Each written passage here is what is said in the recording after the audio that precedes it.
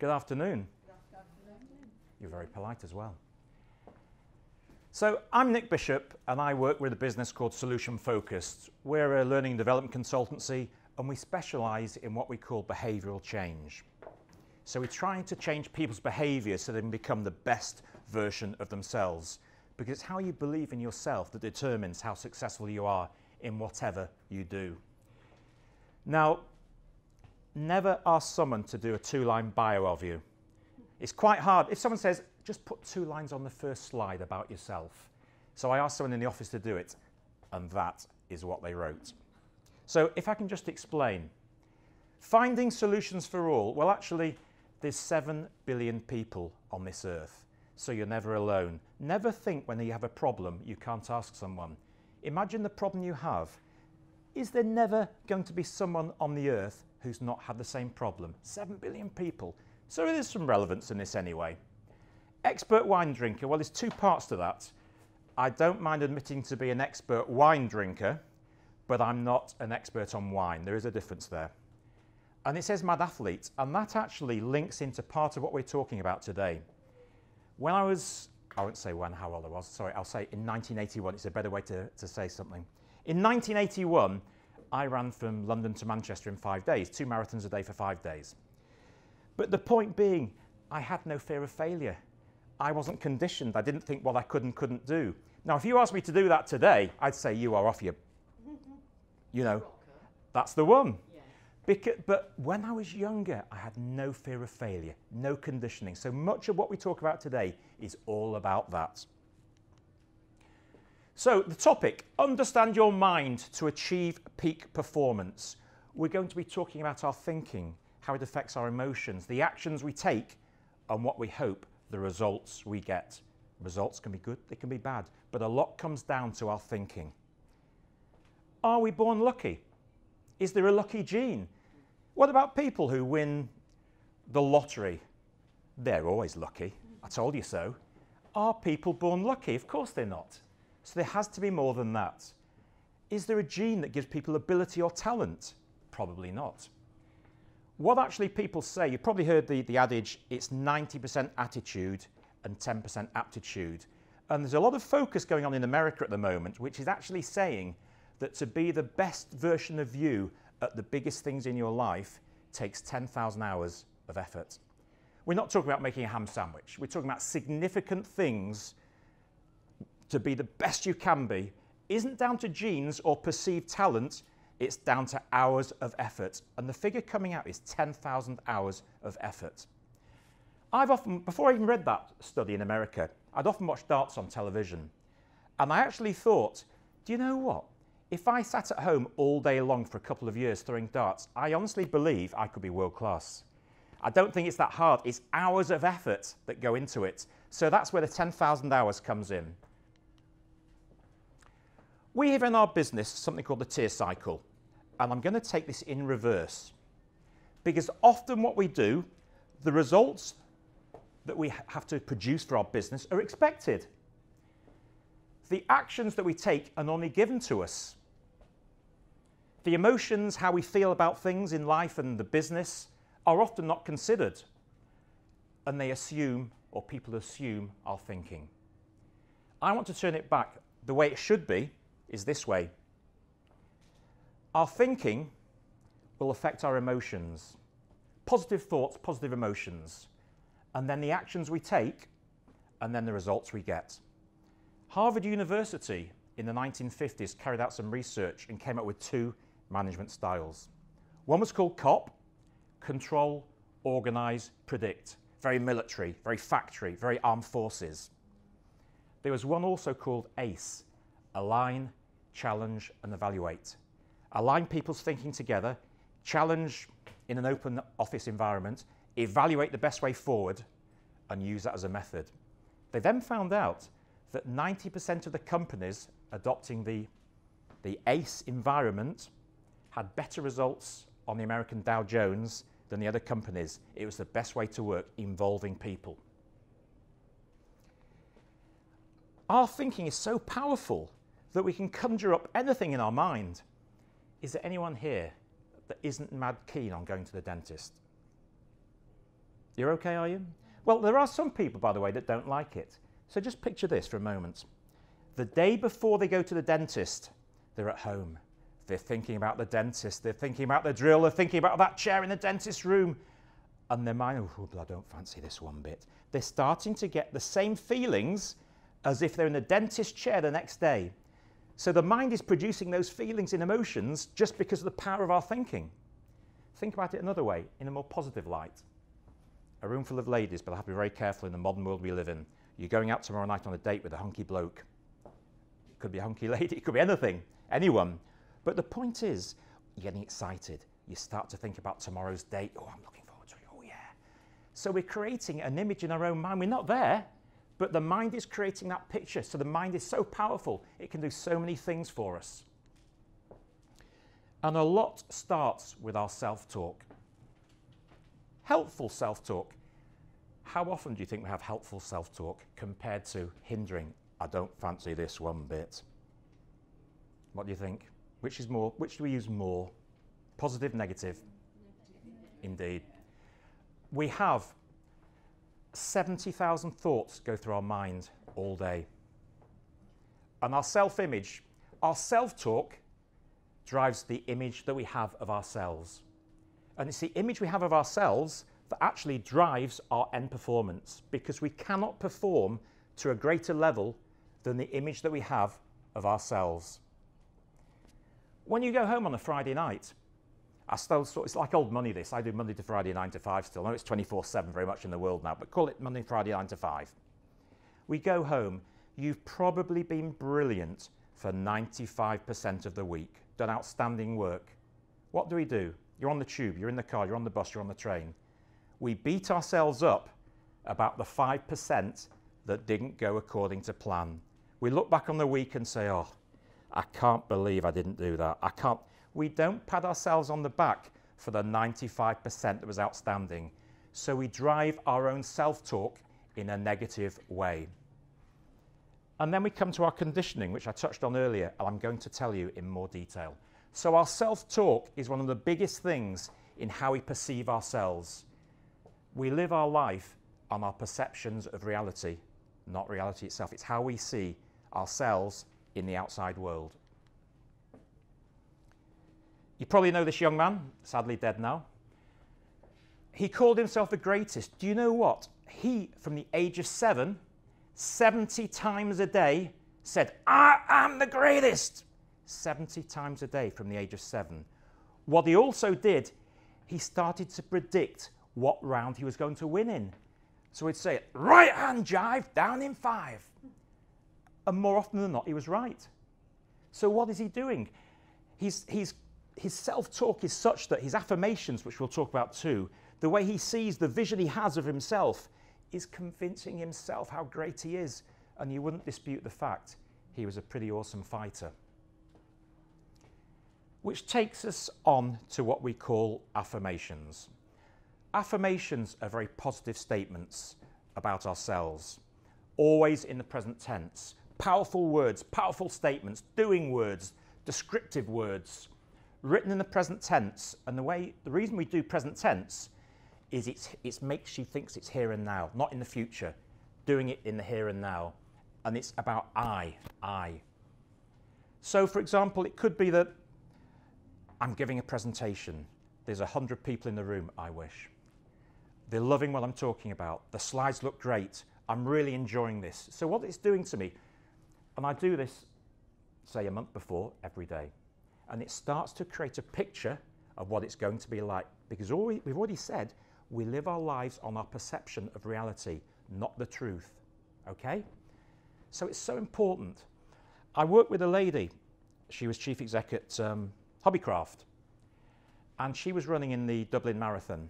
So what we did for Catriona, Catriona Marshall, her name, was I found a copy of the Dublin Gazette, the paper, what have you, and I created an image. What are you thinking? Yeah, absolutely. Absolutely. And I, and I got a picture and a headline Catriona Marshall smashes her target, finishes the Dublin Marathon in 3 hours 43. And I posed a picture of her in the headline. And she put it on a picture frame on her office desk. She then created affirmations And her affirmation, we got a picture of the finish line so she could picture it.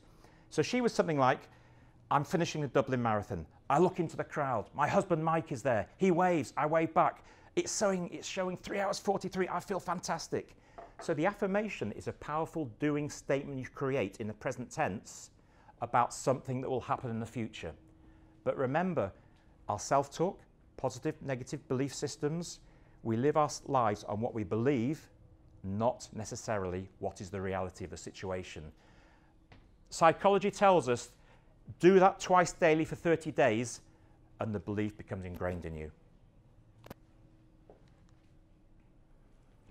Then we come on to the brain. My goodness, how long have you got? The brain is the most powerful tool that we have. I'll just explain these very briefly, then I'll go into more detail. We have more neurons in the brain than grains of sand on the planet. We make pathways in our brain which are electrochemical. Same thought, same pathway. But like everything, we need to use the brain and the pathways like a muscle. So we have to create our own success pathways, and this is how we do it. We have in the brain something called dendrites. Dendrites are simply the channels, the pathways, that transmit signals in our brain. We then go on to the law of electricity, electrochemicals. Our thoughts will always travel down the thickest dendrites. If we don't use certain, certain thoughts, they go down the different dendrites. So we have negative, positive dendrites. The more we think about ourselves in a very positive manner, the more we talk, our self talk, we have affirmations, we start to believe more in ourselves, the thoughts go through the positive dendrite. And what does that do? It gets thicker and thicker, and the thoughts travel faster and faster. Negative dendrites are the reverse. The more we talk about ourselves in a way which is I'll never get that done. I'm useless at this. I, oh, I, that's not going to happen either. They travel down our negative dendrites. And of course, the more we do that, the thicker they get, the faster the current goes, the more we believe it. So that is why self talk is so important because the more we speak in a positive manner about ourselves, our self talk, our belief systems, we thicken the positive dendrite and we reduce the negative dendrite. And then like any other muscle.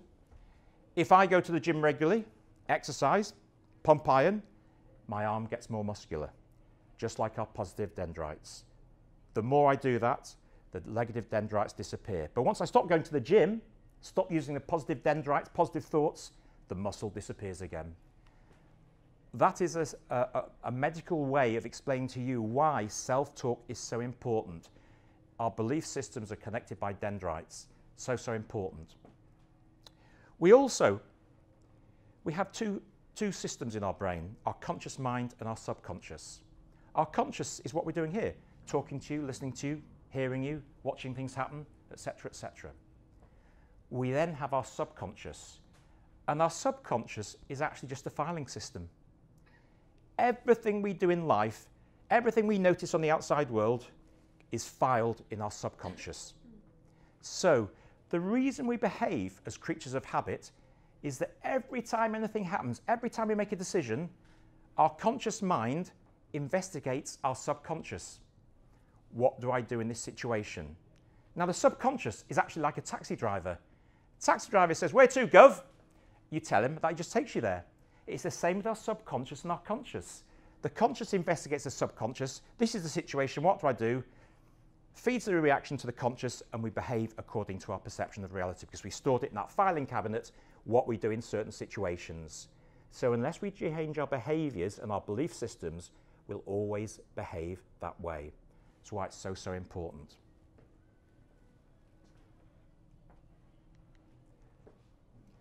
I mentioned conditioning to you, and this sums it up really, really well. Our conditioning is very much about what we think about ourselves, where we get our thinking from, what influences us, all those kinds of things. They do say, by the way, if you suffer from depression, don't read newspapers because it feeds our conditioning. Our conditioning could be managers, parents, teachers. A great story I read was about a lady who lived in a, a, quite a rough council estate. Now, my wife came from a council estate, so I have no issue at all with that. The point being, a black lady with six children, um, she didn't have a husband, she's widowed. Now, society might say her lot was that in life. Every one of her six children became barristers. But had she thought this, self limiting beliefs, negative mental attitude. Become lousy emotions and we have worse behavior, behavior being performance. Whereas on the other side, we have inspiring beliefs, which drives our positive mental attitude with great emotions, and then we have peak performance. So we have to make sure we have the biggest input here. We are ultimately the people that make this happen. So we have to start with our own conditioning and changing the way we think about ourselves. Another point there, we have something called Gestalt. And it's very difficult to try and deliver peak performance when you're here. Because what it does, it stresses you. Oh, I better try my best at this. You can't suddenly turn up one day and say, I'm going to be great today. Because you, being great is something that you prepare for days, weeks, etc. So it's very difficult to try and be great when actually your negative thought chain is taking down this channel. Very, very difficult. That's why our thoughts are so important. I'm going to give you a great example of this about a potato farmer called Cliff Young in Australia.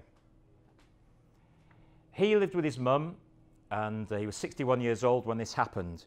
But he was out one day, he herded sheep, uh, ploughed the potatoes over a 20,000 acre farm. One day his pal said to him, Hi, Cliff, mate, there's a running race, Sydney to Melbourne, 500 miles. So he thought, well, I run around my farm all day. Not going to do any harm. This is a bit like me in 1981, by the way. No fear of failure. Well, no problem. I'll just do it. So he just did it. So he turned up on the start line, and all the other runners were there in nice Nike kit, Adidas, Asics, you know, all the fancy Puma, all the nice gear. And this is how he turned up for the race. So people said to him, Who's your coach, mate? He said, Me ma'am. Anyway, the gun goes and off they go.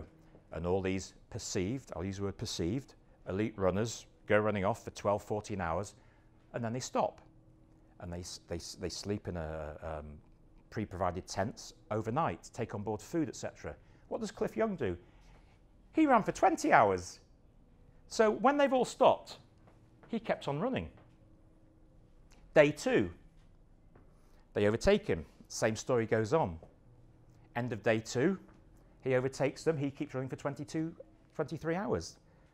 He doesn't always get sleep at home around his farm, so what's the big deal? To cut a long story short, by about day three, and you can Google this by the way, it's not a big fib, the Australian press were starting to take note of this. This became headline news in Australia and headline news on television. To cut a long story short, he won the race. now, the following year, what do you think happened? He did the same thing. No. It didn't happen because the so called perceived athletes, their conditioning was changed. They suddenly thought, God, I don't have to rest as much as I thought. I don't have to do this. Because he had no preconceived ideas, his conditioning was such that I'll just do it. No fear of failure. He showed what was possible. So then we're talking in the realms of Sir Roger Bannister, 1954 first four minute mile. Now, did you realize that when he ran the four minute mile in 1954, medics had always said that to run a sub four minute mile was medically and physically impossible. To run sub four minutes, the blood in the brain would combust. So, can you imagine running along and the clock being 354, 355, 3. I'll think I'll slow down. I don't want this blood combusting. When he did his sub four minute mile in 1954, why do you think 38 more people did it in the rest of the year before the Christmas? Because he'd proved what was possible. So our conditioning, our belief systems drive what we believe is actually possible, which goes back to me being um, 21, running the Manchester Marathon in 1981, the first Manchester Marathon, being asked by a charity, how could I raise money? Deciding to run from London to Manchester because I had no conditioning, I had no fear of failure. Well, what's, what's the worst thing that's going to happen? It's a bit like that. Not quite as extreme, I grant you, but it's the same principle. the same principle. People tell, ask me sometimes, I want to be motivated. How do I motivate myself? You can actually only be motivated if you've got very strong goals that you believe in with a vengeance and a passion. You can't just turn up for work today, God, I need to be motivated. The only way to motivate yourself is to have powerful goals that you believe in with a passion and a vengeance. And then they've actually got to be relevant to you, something you believe in with a passion. Very, very important that. Having goals that you believe in totally. This is an interesting guy. John Naber was an Australian swimmer. He wasn't an Australian swimmer, he's an American swimmer. Doesn't matter though. American swimmer.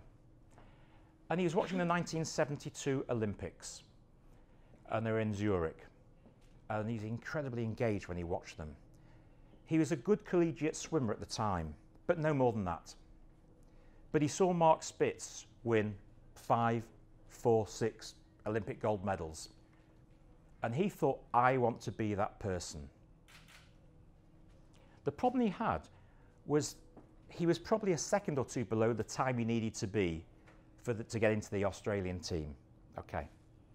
But he worked out that all he had to do was improve by one fifth of the blink of an eyelid for every hour of training he could commit to. So when you break it down like that, you think, well, all I've got to do is improve by one fifth of a blink of an eyelid for every hour of training. He broke it down into such small details it seemed possible.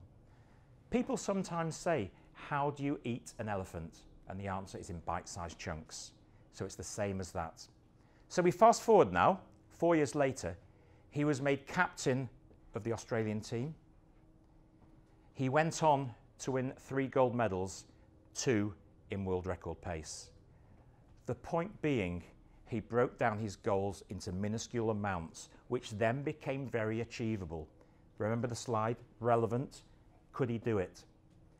We have two forms of motivation as well towards and away from motivation. Towards, when we set goals, like on the previous slide, is all about something that drives you passionately. The goal is so important it motivates you.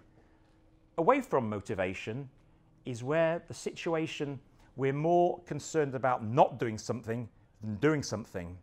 So a pal of mine was training for a half marathon and he couldn't get out of bed. Oh, I'm struggling to get motivated to run this half marathon. His towards motivation to do it wasn't very strong. So what he did, he went out and started to get sponsors.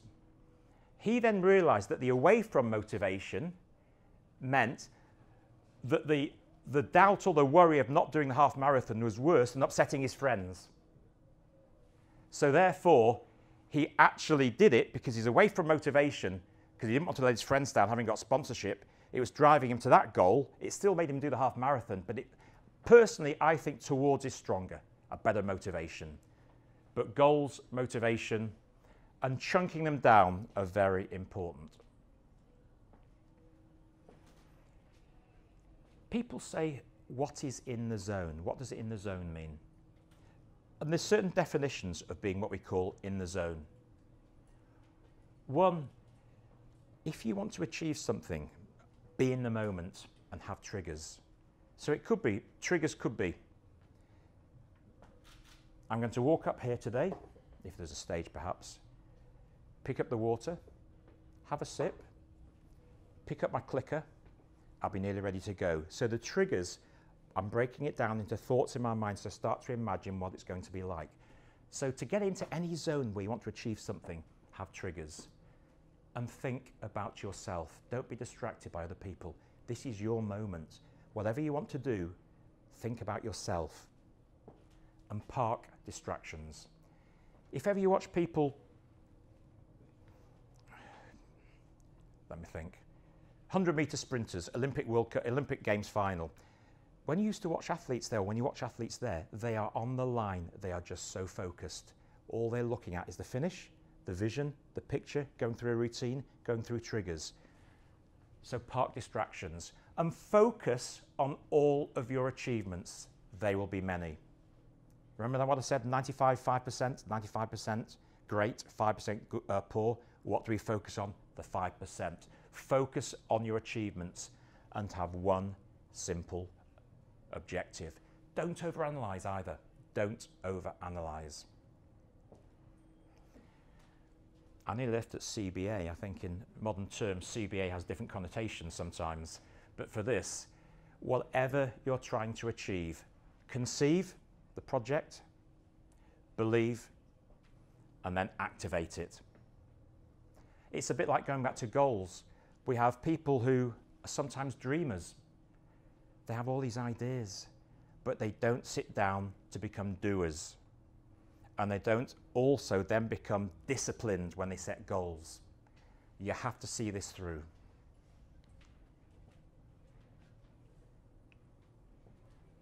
We all have choices in life. You don't have to pay your taxes, by the way, but there's an effect. If you don't pay your taxes, something will happen. So you can do anything you wish, but always remember there'll be a consequence. So when I say we all have choices, it's up to you what you want to achieve. This lady here, Wilma Rudolph, was born into a very impoverished black American family. She was born three months premature, and by the age of two or three, she had cholera too. By the age of one or two, she had to wear a knee, a knee brace. She had seven or eight brothers, so there's about 10 siblings in the family, nine, 10 siblings in the family. She decided when she got to four or five to take her knee brace off. People said to her, Wilma, it's not going to work, you know, just accept your lot in life. Conditioning, remember? Self talk. She decided to take the knee brace off and she started to walk. At first, the walking was a little bit awkward, but she walked a bit more smoothly. Fast forward to 12 or 13. She said, I'm going to run. Try running. People said, Wilma, don't do it. It's not going to work. You, you're walking now. It's beyond what people thought you could do. Don't do it. So she started to run again. A little bit awkward at first, but she started to get better and better. She then got to 17 or 18 and she entered the race. People said, Wilma, don't enter the race. It's not going to work. You know, you're, you're doing great so far. It's not going to work. She came near the back. Not last, but very near the back. After that, she never lost a race again. And if you Google her, she won three gold medals in the able bodied Olympic Games. Go back to when she had the knee brace, go back when she couldn't walk, go back to when she was told not to run, go back to when she was told not to race. Had she listened to all of that, she wouldn't be running, she wouldn't be racing, she wouldn't be an Olympic champion because she didn't listen to what other people thought was right. She, it's back to our conditioning, our self talk. Remember, 70,000 thoughts a day. We can't exceed our own belief systems, our perceptions of reality. Whatever we believe the limit of our, our ability, that will be it. You can't outperform your own belief systems in terms of the limits of your own ability. So, it's always so important to talk to yourself in a great way. Would you accept people come up to you and say, uh, "Can you do that PowerPoint present?" Don't worry, you, you're lousy at PowerPoint. If people spoke to you like that, what would you do? You wouldn't, would you? Oh, I hope, I haven't hit a raw nerve, by the way, there. But you wouldn't accept people telling you what you couldn't do, but we tell ourselves it so many times and we're in control of ourselves, and yet we tell ourselves all these things. Build some more helpful neuro pathways. They're the dendrites, positive dendrites, negative dendrites. The positive thoughts flow through the positive dendrites, negative, the negative. Use the positives more. Our belief systems are driven. Have a success system as well. So, hindering to helpful are thinking and behaviours. Forget hindering. We can sometimes learn from failure or etc. But remember, forget the hindering, move to helpful. Start to use affirmations. Create positive word pictures of ourselves because the mind works in pictures. If you can picture it, they say, you can do it. Once you can picture something, you can do it. That is what science tells us. The trouble is, we don't picture ourselves doing it. That's the key. Visioning as well, almost like affirmations, that picture in your own mind. And ultimately, we have to make choices and take personal responsibility for success. Gandhi had a saying, do not let your dirty feet walk through my mind. Don't be influenced by what people tell you you can't do.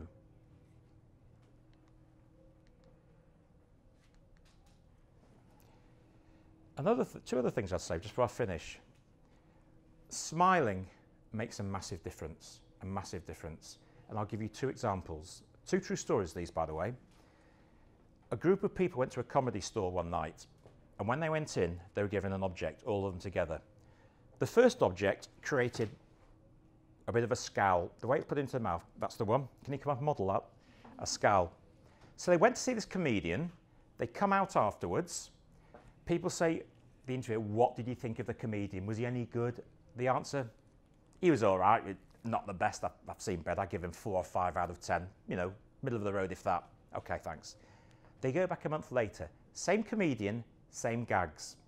This time, the instrument creates a smile. They come out, exactly the same comedian, exactly the same jokes. What do you think of the comedian? He's pretty good, actually. I quite liked him. Yeah, I'd give him 8 out of 10. I'd come back and see him again. He's really good. The jokes were the same. The comedian's the same. The only difference was they smiled. They smiled, and it made a difference to how they felt about life, themselves, him, everything. And I mentioned at the start, yet as well. Because yet is a very powerful word. So when people say to you, Have you ever done such and such? Have you done such and such? No, no. Try saying, Not yet. Because who knows what you can't or can do? Who knows what you can do in the future? They actually say if the mind is powerful enough, you can achieve anything. Goes back to those 10,000 hours, doesn't it, really? Science now says that if you want something enough, 10,000 hours is the magic number. I still don't think I'll lock myself in the bedroom and play darts for 10,000 hours, but I still believe if I did, I could or be world class. I still believe that. I really do.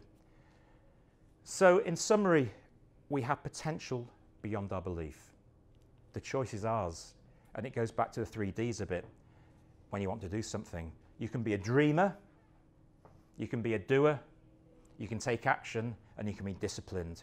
But if your goals are powerful enough, there's nothing to stop you achieving those things. And I guess the question is when do you want to start? Thank you very much. You've been an excellent audience. Thank you.